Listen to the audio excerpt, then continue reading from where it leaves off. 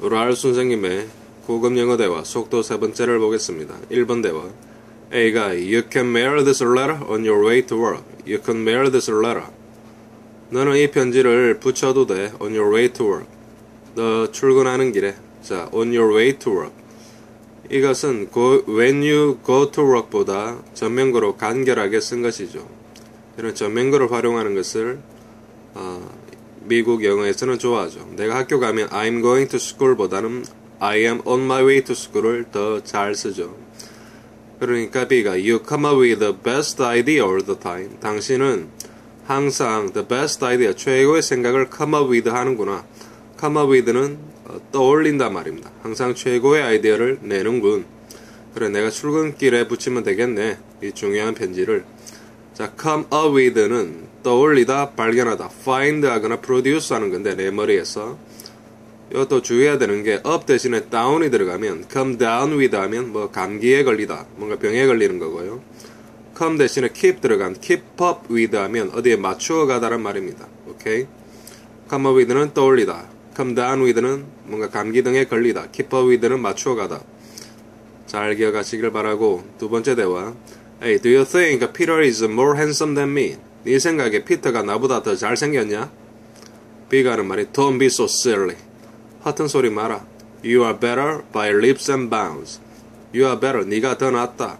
By leaps and bounds 하면 압도적으로 훨씬 더 낫다. 이런 말입니다. 세 번째, A가 하는 말이 Get a move on. Get a move on 하면 저리 비키시오. 빨리 움직이십시오. 빨리 움직이십시오. All is under control around here due to the accident.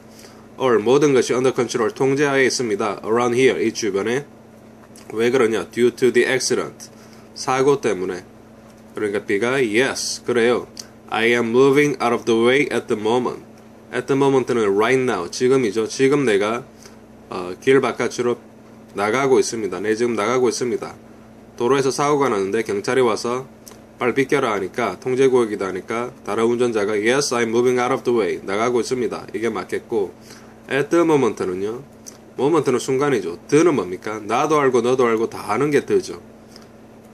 나도 알고 너도 알고 다 아는 그 순간은 지금 이 순간입니다. 그래서 드는 this라고 할 수 있습니다. 그래서 at this moment 해도 됩니다. 선생님 생각에 라울 선생님 생각에 세상 모든 드는 this라고 바꾸면 한 90% 이상은 맞지 않겠나 이런 생각을 해본 적이 있습니다. 자 그래서 1번 대화에서 on your way to work은 네가 출근하는 길에 be come up with the best idea 최고의 생각을 떠올리다.